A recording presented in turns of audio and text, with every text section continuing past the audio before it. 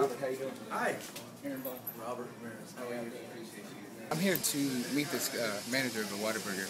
He actually sent us a uh, care package full of the spicy ketchup. And there are a lot of hometown and Texas boys that are out there with me, and we were very excited. It was a lot of fun. So I actually have this flag I was going to give him that, uh, that flew on Memorial Day. And um, so I'm just going to bring that here, say thank you, and appreciate what he did.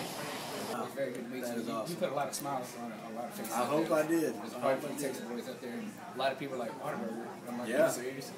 That is awesome. Wow.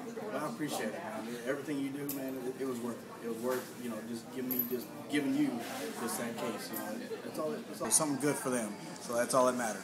Um, and and I did it with, with no questions asked, and and uh, you know this is what this is what we get. So you know it just makes it worthwhile, and and and you know every now and then you get a surprise. So so that's a good thing.